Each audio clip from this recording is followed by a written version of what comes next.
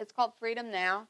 It's not just geared toward uh, toward young men, although that's where we want to do a little bit of focusing on, but also our beautiful young girls that we have here. Um, you'll hear some stories today how people went adrift, and I love these testimonies. They're super, super helpful. But in this room today, trust me, with just the number, sheer number of people, this is an issue. And so we'd like to talk about that candidly and honestly because the Bible says if you confess your sins to one another, you can get healed. But if you keep them secret, there's shame. That's where Satan works. We spoke uh, a lot about that last week about the we're talking about the five lies that Satan tells us, the serpent tells us, starting in the garden, and we talked about um, youth last week, and we talked about um, singles and dating, and we talked about the purpose of dating. Today, we want to talk about a more, much more broader subject, and we're going to be incredibly sensitive to this because we're going to touch on things like homosexuality, um, incest, pornography, and things that we have to deal with as a church because these evils, these lies that come in that we believe are what really start to pervert something that's so pure, and that's a gift of sex that God gives those people who are in covenantal marriage. We want to make it beautiful, we want to make it clean. God wants to make it beautiful. Amen. God wants to make it clean. We just want to show the snapshot that He's given to us so that we can bring it to the consciousness of the community that God has trusted us to. And so we have a beautiful amount of children. We have all these, be- I just can't even think, you know, like I have a 10 year old granddaughter now, and she's becoming you know, more and more woman-like, and I'm like, you can't wear those shorts. I mean, like I never had to say that before, and the time is shifting and changing. Well, why can't I, Grandma? These are my favorite shorts, or or whatever. I mean, you know exactly what I'm talking about, and we want to explain to them their beauty, uh, how to use it, how to portray it. I'll let the godmothers take care of the girls. I'll let the godfathers take care of the boys. Um, and so we want to touch a subject today that I think is going to be um, very helpful and we have some backup here with some testimonies. I, I thought when we started this series, remember we were going to do a roundtable, and we are going to sit a bunch of people up here, um, young, old, middle, just just to hear different, you know, just their different takes on it. Um, I want you to know that I don't take this subject very lightly. Um, I, uh, I started in January of this year, 2013, with my research and, and a lot of research. I spent yesterday let alone this year, but yesterday, probably about eight hours watching testimonies of people who are pro homosexual, who are pro um, you know, infidelity, who are pro you can live together. I, I, I need to see the consciousness. And I have to tell you, I would pull away once or twice to really reflect on God, what do you say about this?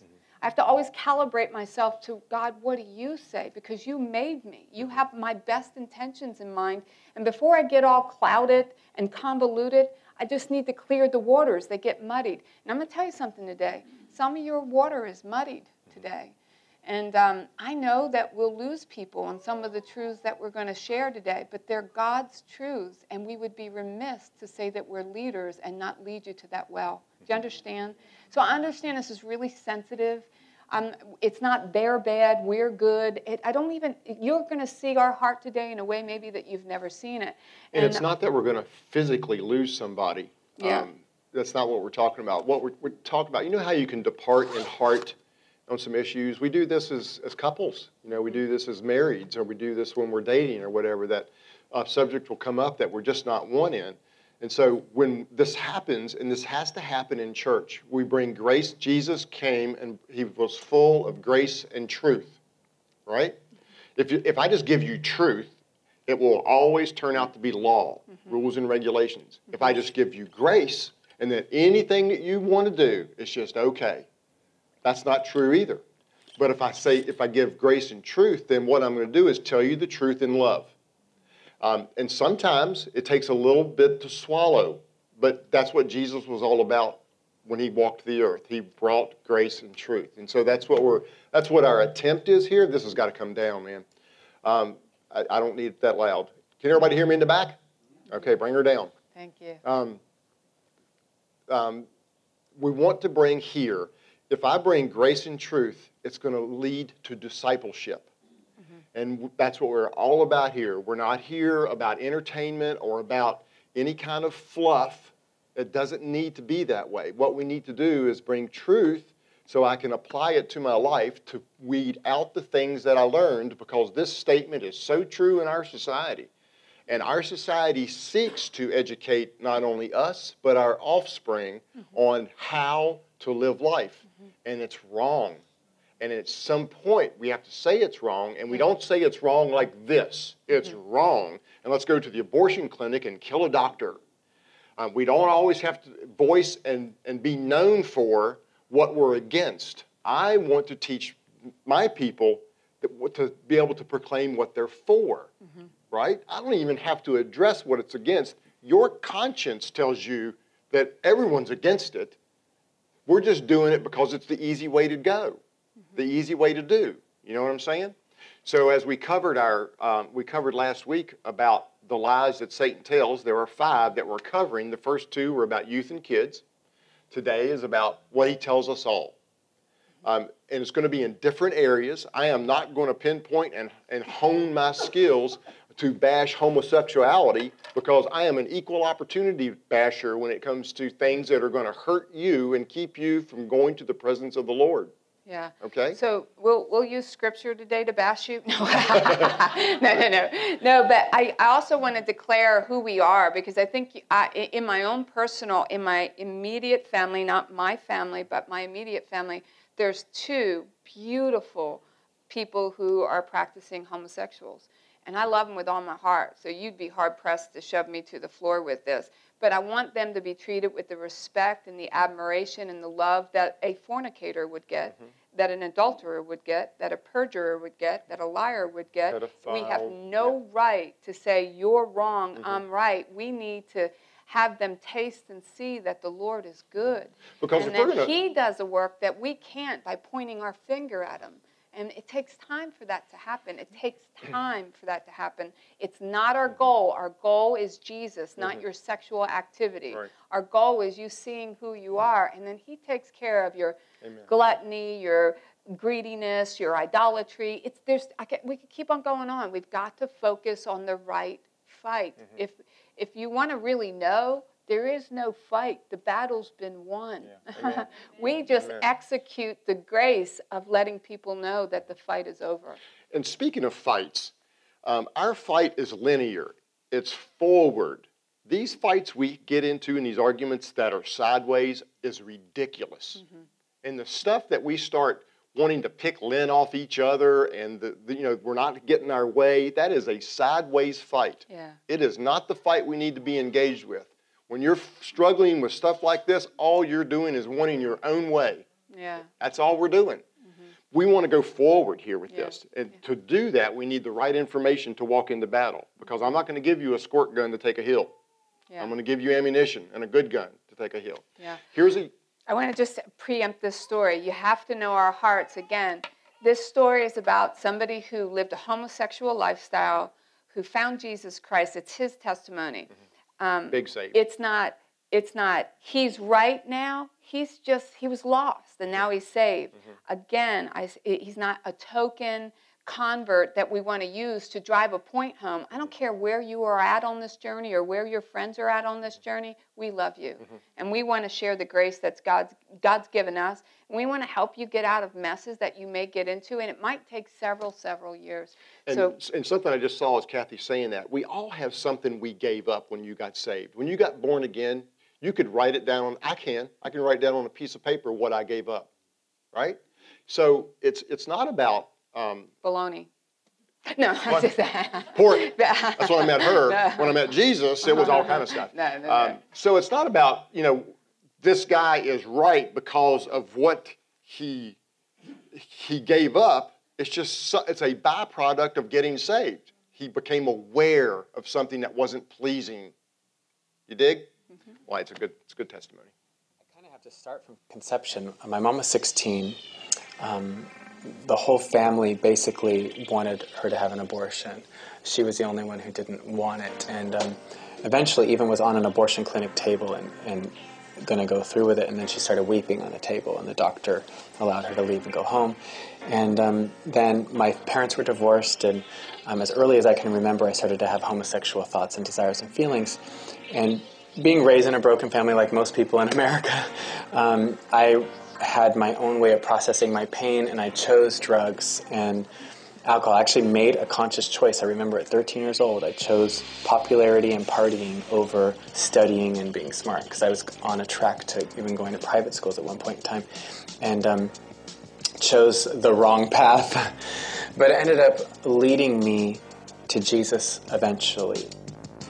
Probably at the lowest pit of my drug run, I ended up in the gay community in San Francisco and um, was a pretty well known club celebrity um, here in the city and um, dressed up every day in the most extravagant, wild costumes. I felt like it was family. You know, the gay community offered you celebrity, it offered, it offered you affirmation. It, um, even men would pay attention to me growing up. My dad wasn't in the home, you know, I, I didn't have that, and um, but I didn't understand these things while I was in it. I thought it was it was the rightest thing for me to be doing. I thought that was who I was, and and it was even righteous and holy. I really did. And at one point in time, I started to notice things fall apart. Um, I got involved with some really um, shady characters, people involved with witchcraft and mafia in the gay community, and even some outside of the gay community, just high level drug dealing, and um, people involved with Satanism, even. And I just never believed in evil or wickedness, but then I begin, I began to pray because it was so tangible around me that I just couldn't ignore it anymore. And I just said, Lord, if there really is evil or a devil, you've got to show me. Please, I don't want to be deceived. And so then the Lord started showing me that there really is. One example of it is I was walking down the street in the Castro district. I started to feel like these people were trying to literally take my soul to hell. And I, and I was thinking that in my head. And this homeless man walked up to me and, and mocked me out loud. And he said, They're trying to take my soul. And I was like, Oh Lord. And I ran down the street, like screaming, literally, during the broad daylight, going, Oh God, this is real there's a hell, there's a devil. It's like, how could this homeless man have known what I was thinking quietly in my mind? And I wasn't high. I was, you know, just walking down the street.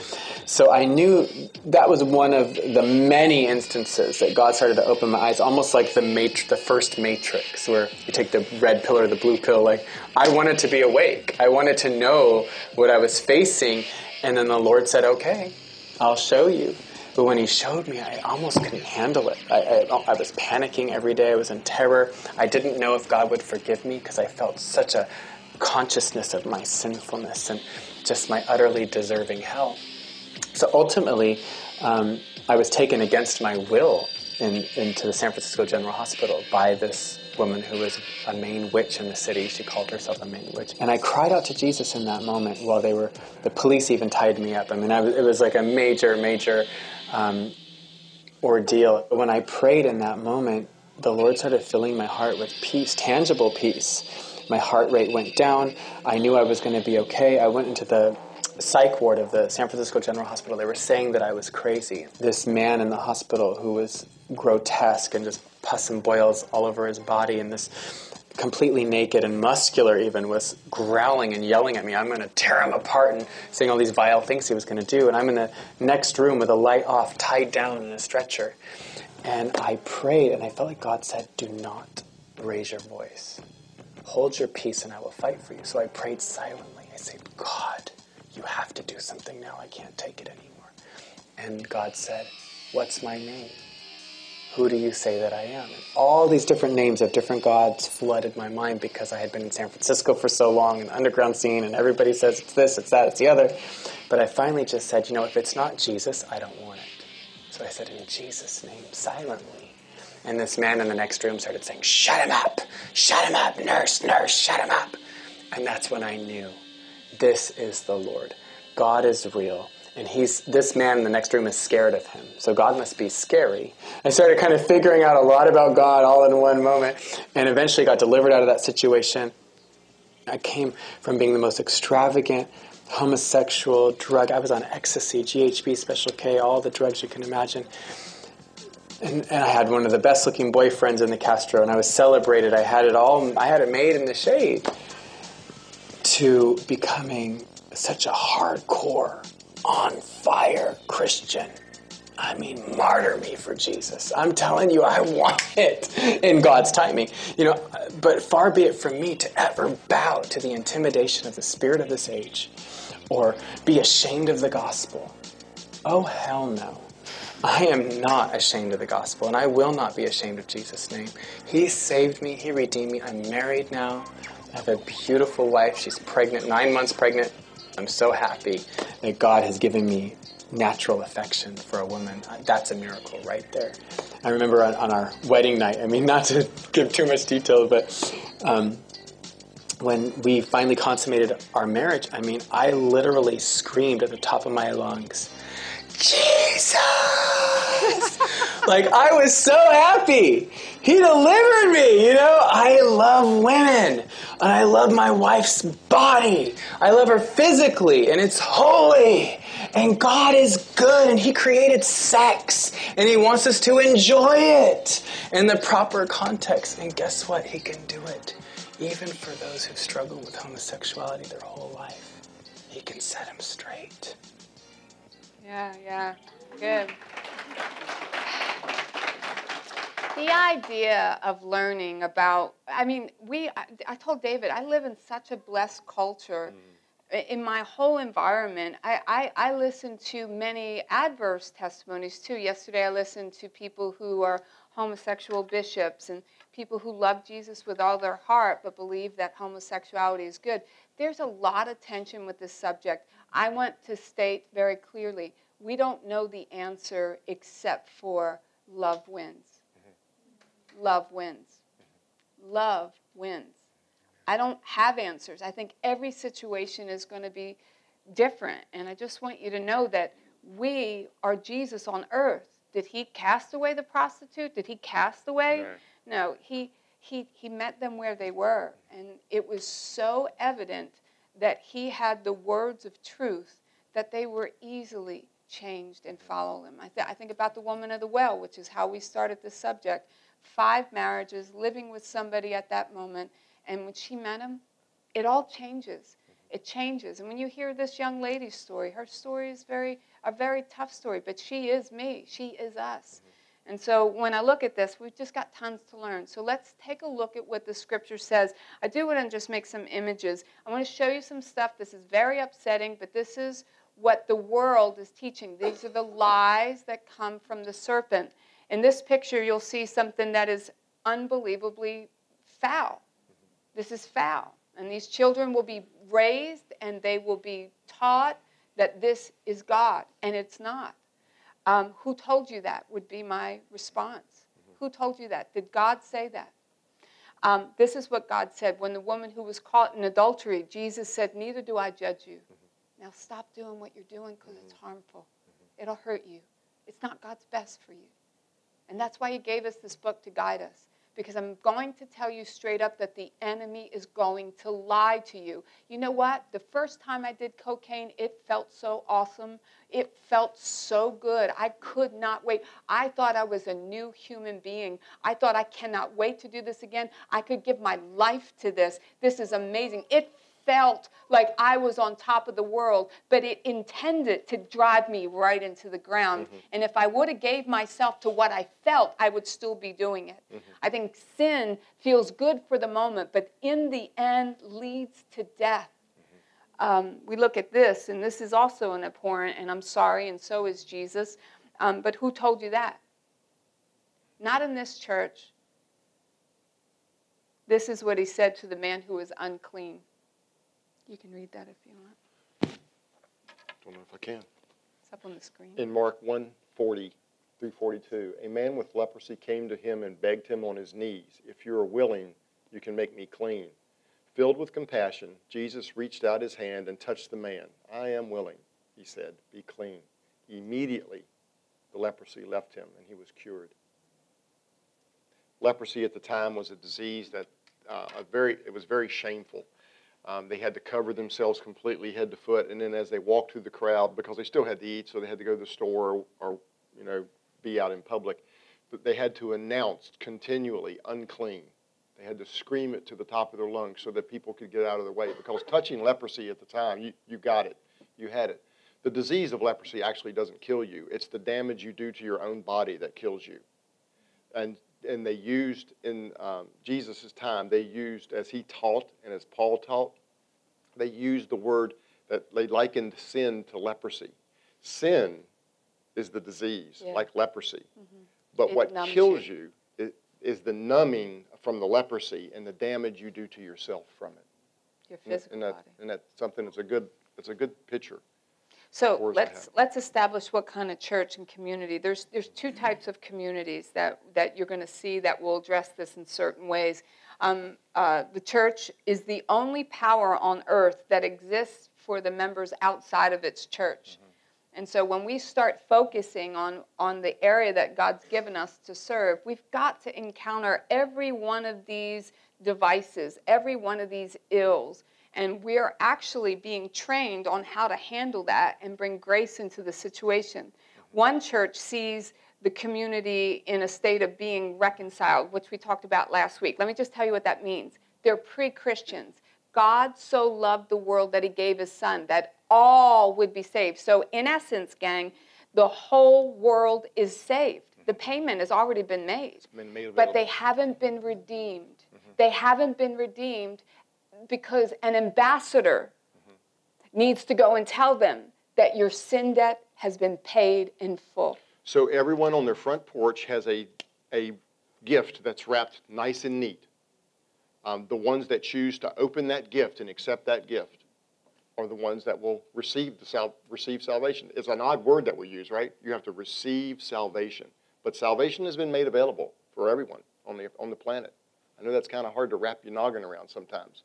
So, I, I struggle with the word everybody, everyone, right? Because we pick and choose.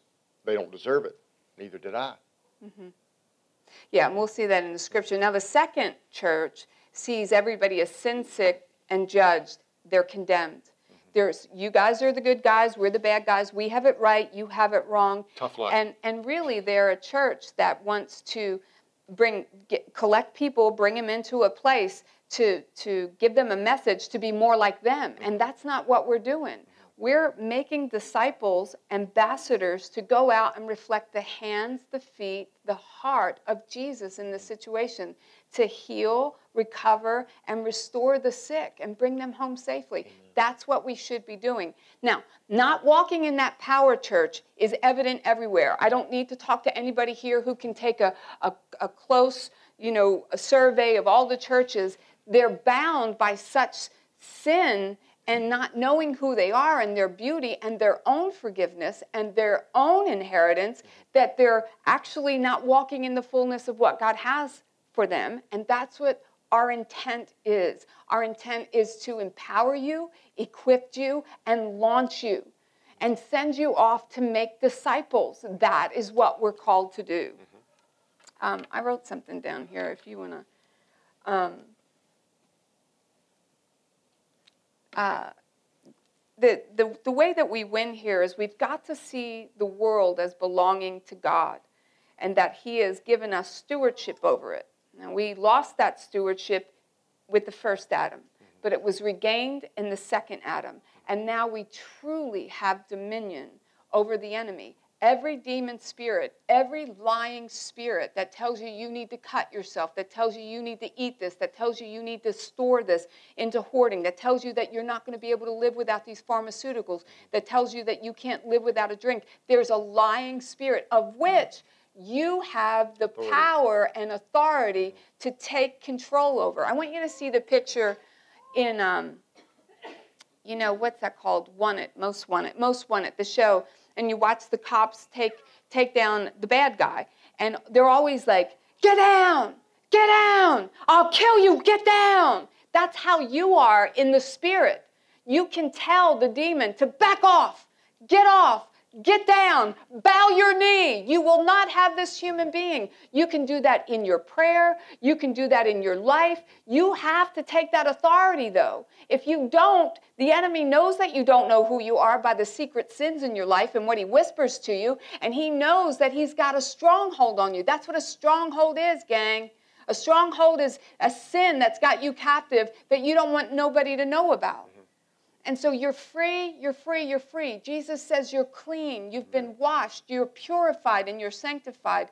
And when you do confess your sins, even today, like when these young men give their testimonies about being bound to porn, they're still going to be tempted in their life, but they're no longer mastered by it. Right. They can talk about it and say, That's an area that I got to keep myself accountable. That's one area that you guys got to help me with. If you've got a temper, you got to keep me accountable. If you've got an eating problem, help keep me accountable, church. Help me be the best that Jesus has calls me to be. That's why these life groups are so very important. We evict the enemy. Now, listen, we've been given Greencastle. We simply have one of the largest churches in Greencastle. We have three city blocks. The Father is pleased at what we're doing. We are not going to, the enemy's not going to roll out a red carpet for us and just say, have carte blanche. There's going to be tension. There's going to be conflict. There's going to be people who talk very poorly about your pastors. There's going to be people that say, oh, there are a bunch of kooks over there. But here's what you got to know And rightfully so. yeah, and there are.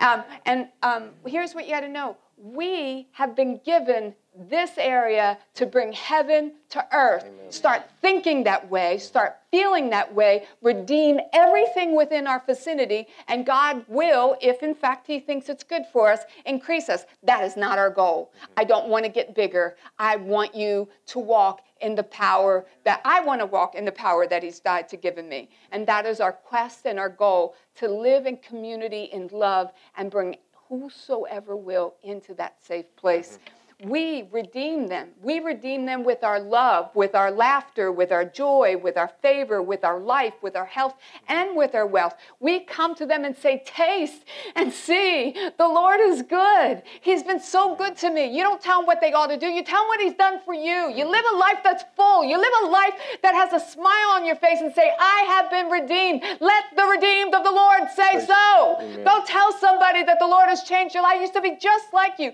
I used to feel the same way you feel, but I have been so transformed by the love of Christ that I can't help myself but tell you that the way that Satan's lying to you, he lied to me, but it's a lie. I'm telling you, it's a lie. Amen. And so this is what we get to do. We said when the angel came, joy. Joy to the world. The Lord has come. Let earth receive her king. Let every mouth, I don't know the rest of the song. prepare, let every heart prepare him room and let heaven and nature sing. We cannot, this cannot, this, this redemptive love cannot be presented by a joyless Amen. people. And when our marriages aren't whole, we're not very joyful. And when our kids aren't in a place where they feel the safety of God's covenant, we're not joyful. And that's what we're committed to teaching you. We've got to make disciples. We got to stop believing the lie. And listen, after eight hours of watching all these testimonies, because I just felt a, a real um, uh, a need to be prepared to hear these sides and to understand.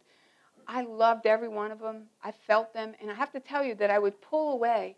And in that instance of listening to these testimonies and looking at these beautiful human beings, I felt a measure of duplicity.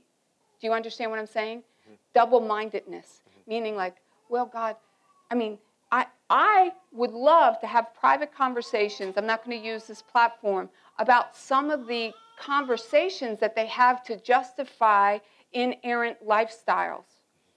Uh, polygamy. They believe that that's okay. I mean, I could go on, and it's not. But here's what I want for you when I look out. If you've got Christ in you, can I see a little joy up in here? Let me see it. Let me see it. There you go. There you go. The joy of the Lord is our very Strength. strength. Amen. No smiles. Give me a little smile. Let me, let me see a little joy. Got a little joy. Got to have teeth. Um, so line number three that he tells all of us is this: the restrictions that God puts on us is pure and technical and keeps us from enjoying sex to the fullest. Um, all of us made this statement, or sh- or maybe not all, but um, at least I did, and maybe you can identify with it. See, all I can do is I was a really good sinner, so I did all this stuff that I can preach on today. Um, it wasn't God's best for me to experience the stuff I experienced, but I did.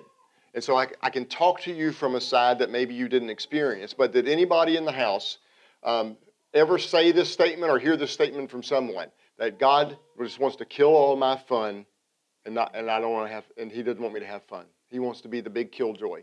I think all of us dealt with that. I did when I was teetering on the edge of becoming a Christian or learning about him. I'm like, man, you can't have no fun and follow the Lord, you know. I got a big big wave in the back there. Thank you, Pastor. Um, the word puritanical speaks about the Puritans. The Puritans came here for, uh, for religious reasons, um, for almost a pious religious reasons, to have extreme religious practices in their life. It was extreme extremity to everything. Mm-hmm. And so what Satan comes to tell us is that if you follow God, you're going to have to be extreme in every belief. And that's a lie. That's a lie. Um, there are subjects in the Bible that Cathy's alluding to, like homosexuality and different ones that are, you know, when you're sure about something and you say it emphatically that it's this way, it almost sounds judgmental. You know, it can, it can, whatever subject you're talking about, certain subjects, you'll sound like you're being judgmental. And that's, so when she feels duplicitous, what we start doing is trying to handle a very difficult situation in a um, politically correct yeah. way posture. or a politically correct posture, if you will, to not step on toes and hurt feelings. And that is never my um, my uh, objective is to hurt anybody's feelings, but my objective is to make sure that we level the humps in the playing field, mm-hmm. and that everyone is seen the same, and that not you know that everyone has the same opportunities to come to truth, mm-hmm. right? Mm-hmm. And so when we handle these types of subjects here, um, we, we try to do it and not hurt feelings. But again, grace and truth, when it, when it connects something in your heart, is going to hurt feelings. I have um, someone in my immediate, fam- not immediate family, but my family tree that's uh, homosexual. I also have somebody, in, people in my family that are just crazy liars, mm-hmm. um, adulterers, fornicators, mm-hmm. and all the other aiders mm-hmm. in life.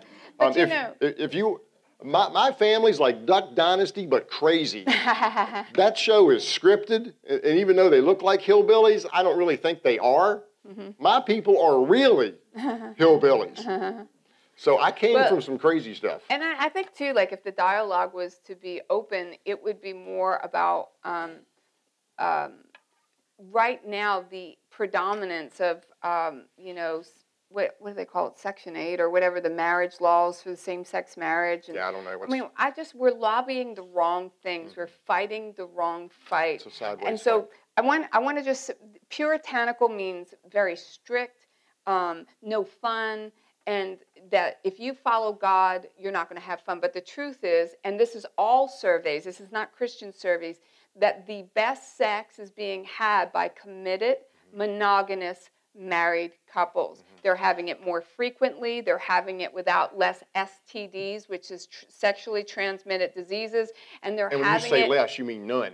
Uh, there are no sexually transmitted diseases. Yeah, yeah, yeah, yeah, yeah, yeah, yeah, yeah. Yeah, well, yeah. yeah. That's thank less. You, thank you, thank you. But I want you, when, when this stuff comes, when this stuff comes, whatever comes your way, like you have to just stop and pause and say, who told you that? Mm-hmm. You have to ask yourself inside, where did that come from? And say, Holy Spirit, help me with this. I mean, because you're going to get things that you're going to you're going to get you're going to get shaken, yeah. and you, you're not supposed to have all the answers, but He does. He'll guide you and lead you. Sometimes the answer is nothing but love. Mm-hmm. It's it's it, you don't have to say anything, but sometimes there's a place where God will say, in love, tell them who they are. Tell them that's a lie. Mm-hmm. Um, adultery, fornication, these are the subjects that are talked about in the Bible according to sex. Mm-hmm. Adultery, fornication, bestiality, which is sex with animals, homosexuality, incest, um, pedophilia, and pornography, which fantasy. is fantasy lust. Mm-hmm. Um, every one of them, the Bible says, will destroy you. I want to read one passage from Proverbs 5 and just attend your ears to this word. Proverbs 5 is talking about the peril of the adulterer. And he says, Therefore, hear me, my children, and do not depart from the words of my mouth. Remove your way, remove your way far from her, and do not go near her door or her house, lest you give your honor to others and your years to the cruel one, lest you lest aliens be uh, filled with your wealth and your labors go to the house of the foreigner, and you and you mourn and you mourn at last when your flesh and your body are consumed and say, How have I hated instruction and my heart despised correction? I mean, there it will take you. You'll you'll hear these testimonies, and every one of them. I mean, they start out just smoking a little pot, and then before I, I listened to this guy yesterday. His testimony was so preposterous that I couldn't even believe what I was hearing. But he went from doing drugs, then of course into heroin, and because he got so addicted, he gave his kids up, his wife up, his family up, stole from everybody. You've heard these stories before. And because he loved that drug so much, he became a male prostitute. This is a young, beautiful, good looking man. I couldn't believe my, my ears. Mm-hmm. But know this that sin will lie to you and it will take you so much further than you ever intend. And this is why you might think we're crazy, girls or guys, young ones, when we're like, don't do that. Don't even, don't even taste it. It will fool you. It will will it will trick you. You'll think it's good, and then you'll be sucked in, and then there'll be so much shame, and that's where Satan works and works and works. And then you like this girl you're going to hear she she was like I, I couldn't even see myself going to a church i was trash i was no good i didn't even want people to know about my past but jesus cleansed me. And so when you see these things, He gives us this owner's manual not to control you, but to bless you. And for some reason, we think we can't trust it. He's going to take our fun. Hey, they look like they're having fun. Let me tell you something. I spent a lot of time in bars and a lot of money in bars. They don't show you fat bellies hanging over butt cracks, people puking. They don't show you that in these movies. They don't show you the smell of beer stenched everywhere and you're so sick and ashamed of what you did the night before. They don't show you that.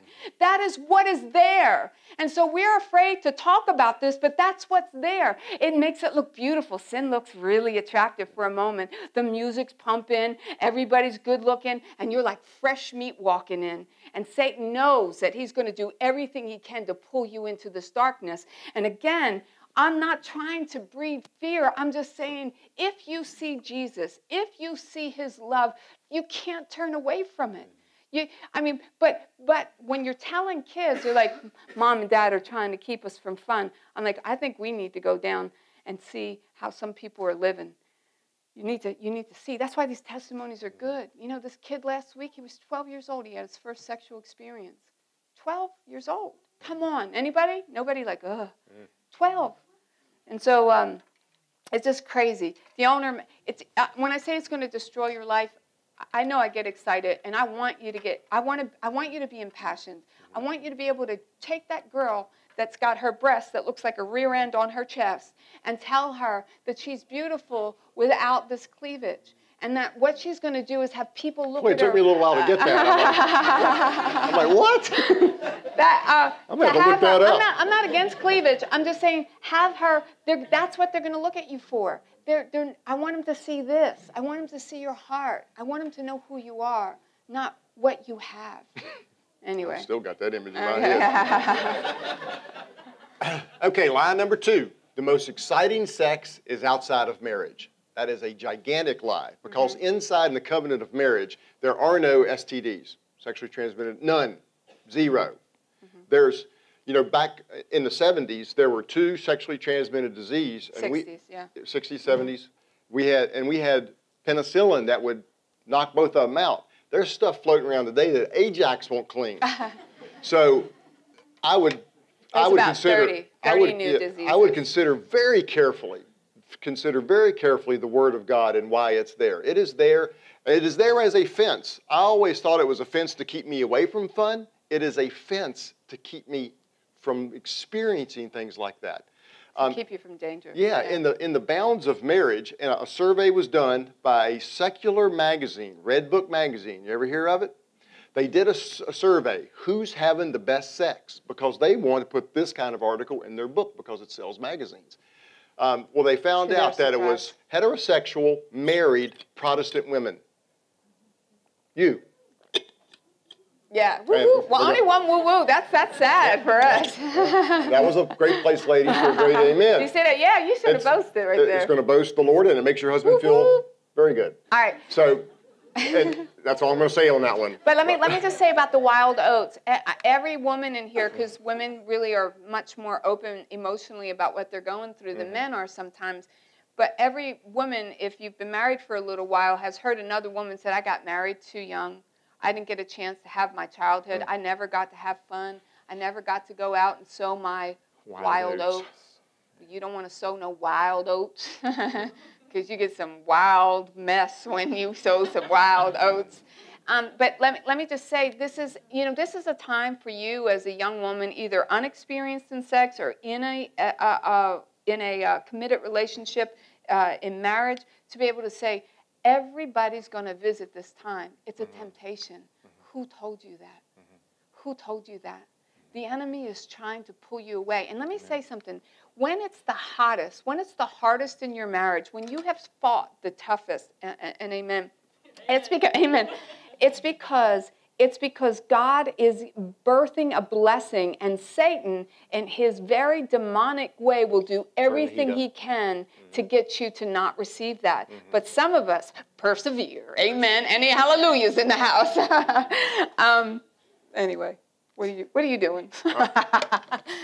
Where are we going with this? This is uh, Sex in the City. Um, Desperate Housewives is basically women porn, which is what we're going to talk about next, week, week. when we talk about women. But these shows have so glamorized. This this one show used to be on HBO because a while ago it was not deemed suitable for TV, but now it's on syndication, and you can at any time turn it on and just see just I mean, just flipping through the channels. It's the same thing with every commercial on any major network. Somebody's being thrust up against a wall or shoved down on a desk, and it is aggressive sex taking that has nothing to do with love. It has everything to do with lust, and this is what we're feasting our eyes on. And this is why we have little girls and little boys in an engagement that they are not mature enough to handle. And we want to empower them to wait for love. Um, One of the, and point number two a while ago was about sowing wild oats. You're never supposed to have comparisons in your head. Mm-hmm. You're never geared that way. That's where jealousy enters in. Mm-hmm. You know that? If you can, if you have some other, like if you never drove a Mercedes, Volkswagens is good. you know what I'm saying? Um, you don't have to have the latest and greatest, but we think we do, or we think we have to have some sort of try-on feature, you know, before we purchase. It's great for shoes. It's terrible for relationships. Just do that with what, what, what you want. this saw you. Here's what the world says Bible sexual standards are unfair to homosexuals, transsexuals, and people who are born a certain way and can't help who they are. It creates prejudice against sinners and makes hypocrites out of Christians. That's a, a- quote a from quote Jimmy from Evans. Jimmy Evans. You might you might want to say that one more time for the people listening to podcasts. Bible sexual standards are unfair to homosexuals, transsexuals, and people who are born a certain way. You know, we live in a society of I can't help it. Road rage is now called intermittent intermittent outburst disorder, disorder. Or, Uh-huh. or something like that. It, it creates prejudice against sinners and makes hypocrites out of Christians. So, in other words, what this statement is saying is, is that it's not my fault I was created that way. And we, we want to really confront that. But first, before we do that, let's read this scripture, and then we'll talk about what the what what God says. Did you click? Yep. Do, do you not know that the wicked will not inherit the kingdom of God?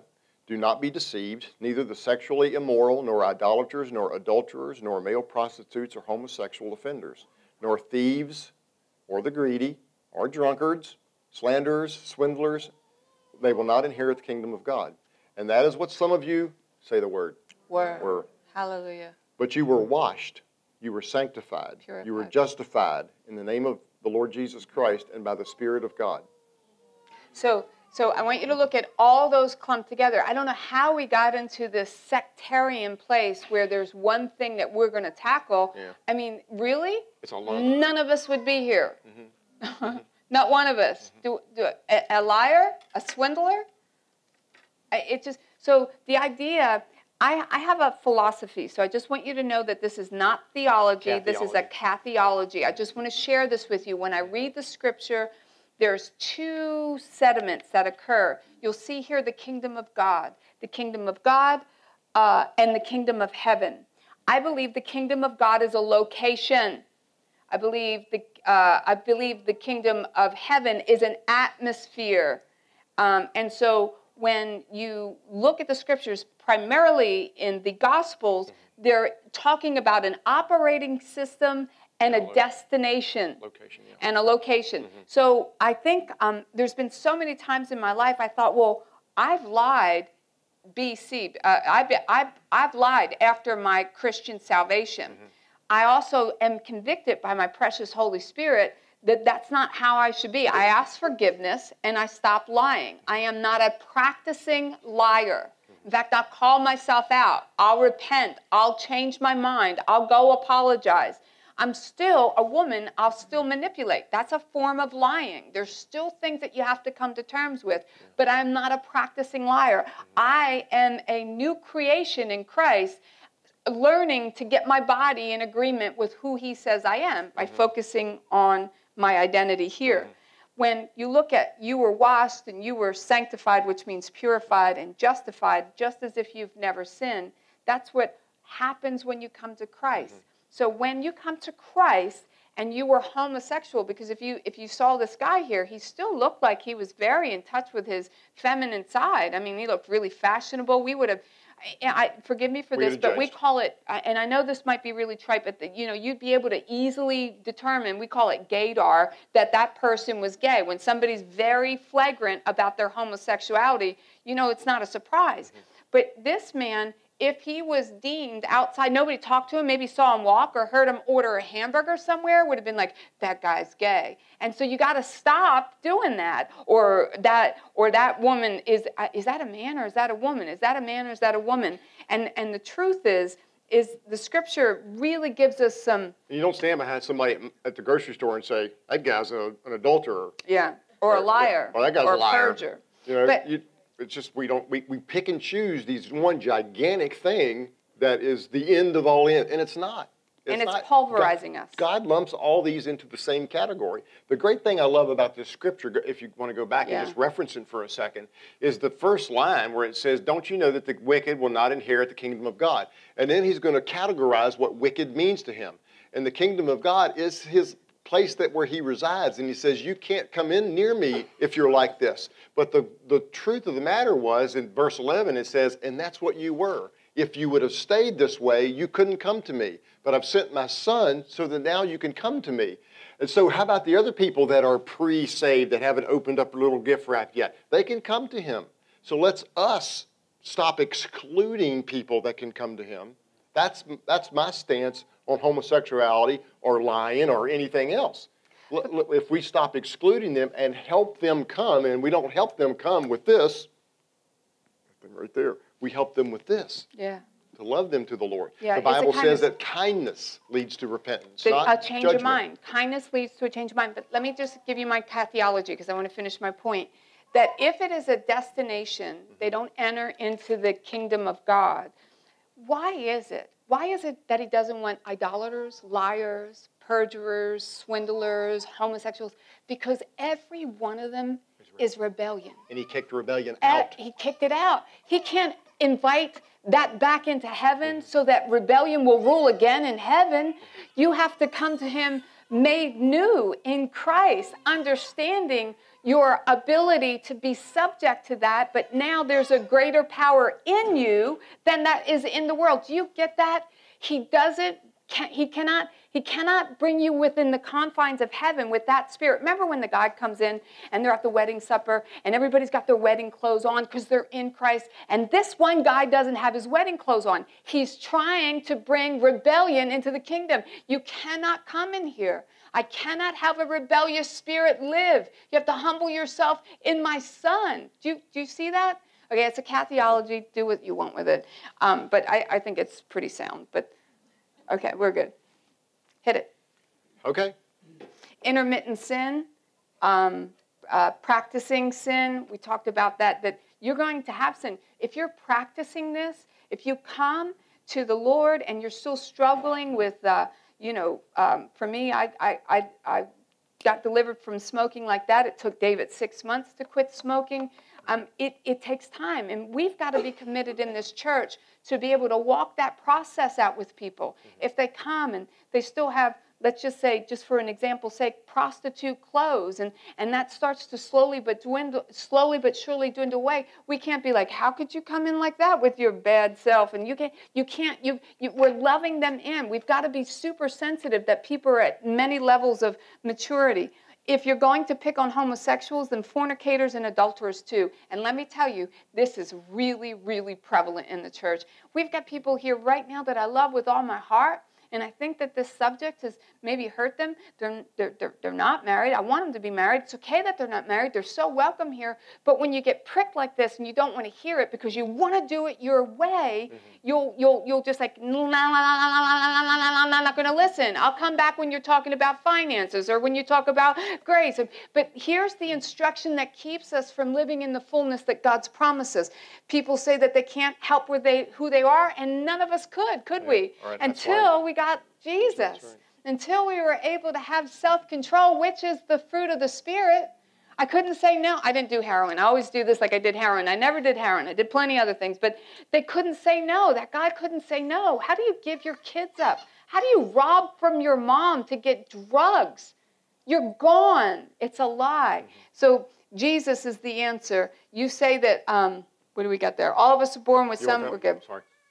Okay. You got it. I said it last week that all of us are born with some kind of tendency or bent toward a specific sin. I don't ride uh, or I don't rob banks, um, but I was a filthy young man. Um, I, I, had a tendency toward, uh, um, never mind. Uh, but it's all new. But baby. I needed deliverance from things. Yeah. We'll just we'll just say that that leave that alone. Every single person has to restrain themselves. Nobody can do it for you. You know that. Um, the only thing that causes you to change something um, in your head, like for me, for smoking, it wasn't I started picking sticks off of when I came to the kingdom. I didn't pick sticks off my life. I just became aware that smoking is not very pleasing to. I just had this conviction about it. It didn't wasn't going to send me to hell. It just made me smell like I was had been there. Yeah. And uh, and, and and I was shortening my life, which is not very good stewardship. You know what I'm saying? Mm-hmm. Um, so I was taking this gift that God was giving me of great health and long life, and I was saying, snubbing Him. Mm-hmm. I was having a hard time quitting, and she said, "Just visualize yourself blowing smoke in Jesus' face on the cross." And I'm like, "Well, thanks for that." image." it made, it made me quit like that, though. Mm-hmm. Um, so I repented. I just changed my mind on these little things, these little baby things. You know, when you first get saved, you think, okay, these little little stuff, and then as you go along, you're like, oh, the Lord doesn't like me to be judgmental either. I got to fix that. Yeah. You know? Hey, um, repentance, gang. Very simple. It means the word repentance means metanoia. It means change your mind. So when you're witnessing to somebody, it's not about telling them that it's wrong, it's wrong, it's wrong. Tell them how God changed your mind mm-hmm. and what the result of that was for you. Mm-hmm. Just let your life shine. Mm-hmm. It's not about telling them what they need to do. They've heard that plenty. Because I haven't struggled with homosexuality, but I'm not afraid to talk to a homosexual because I can just tell them what I've been delivered from. Now, whatever your bent is, he can deliver you from that too. Mm-hmm. I can't. I can't fix that in another person. I can't make you stop lying if I meet a liar on the street or somebody addicted to alcohol. But I can speak to that because I had a little issue with that as well. Yeah, I would always like somebody's like, oh, I gotta quit smoking. I just, I, I know I gotta, you know, they have a problem, and I'd be like, oh, I hear you. I used to smoke. I totally mm-hmm. get it. I understand. I smoked for 13 years. I would never be like, yeah, you really need to quit smoking. that would be very advisable. It's not very healthy. I'm like, me too. And, and I won't ever say, but Jesus, and, because that's not for me. You guys can do that. That's cool, whoever that works for. Mm-hmm. But they'll say, well, how'd you do it? Because they want, they want me to say Chantix or something or some kind of, I'm like, well, I got born again and it changed my life. Like some of them, not all of them, maybe three out of 10 people will say, born again from what? Or, or saved from what? Yeah. And that's where the conversation starts. Mm-hmm. I just, I started learning a new way of living my life. I've never been happier. And I've got tons to learn but I'm on my way, and that's what's good. The lure of lies. We're going to play one more. Um, Are we going to do? I don't know. Or, we'll do it next week if you tell me. Here's what I would like to do. I'd like okay. to either continue this next week or post the remaining material online. Mm-hmm. Is that possible? Like a video? Yeah, I think this will work yeah. next week. Yeah. Okay. Yeah, we, we, we might continue on next. Okay. We got two more weeks of sex and. And then you're done. And then, yeah. and then you're no all more. sexed up. no more. Two more weeks, and that's all you get. Uh, is everybody okay? Are we doing okay? Are we doing? Are you learning? Are you Are learning? you getting some tools to help your community and help people in your families and yourself, possibly? Listen, I have books that I'm going to be recommending next week. We have Lori Meisner, who's going to come up and have a wonderful testimony for us. And you guys are welcome to also come up and just tell what you learn. I mean, some people feel a need. I, I have this in my arsenal to give you that your private testimony is to be used as God wills. If, if you were a lap dancer at Jim's Tom Belly Bar somewhere, I don't need to know that. In fact, I think it's it can be a detriment unless God asks you to use that as a platform to give Him glory. Mm-hmm.